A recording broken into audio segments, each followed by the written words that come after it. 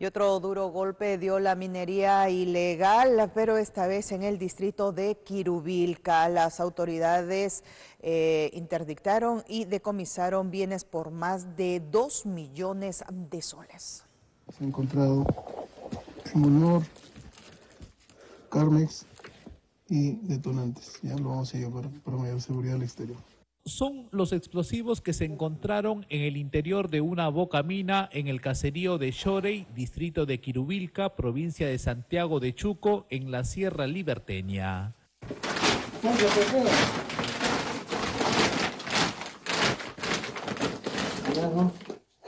Explosivos.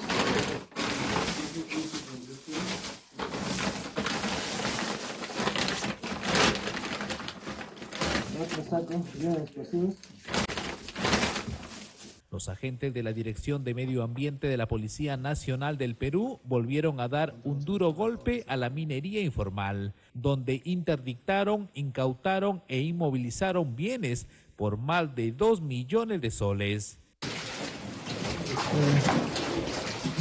El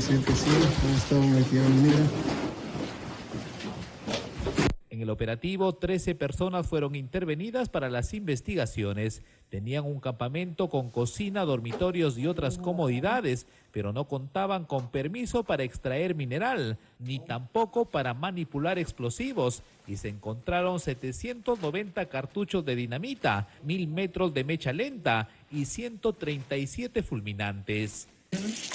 Ahí son siete, siete cartuchos de.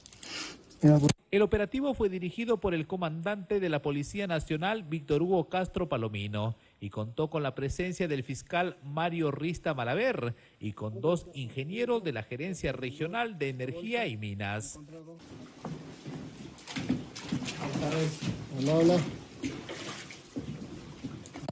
Durante la diligencia se presentaron abogados que manifestaron ser representantes de una empresa minera formal. Sin embargo, se les pidió que se marcharan porque las coordenadas de su labor eran otras. La minería informal en la libertad lamentablemente no solo contamina el medio ambiente, sino que también ha desatado una ola de violencia y otros delitos.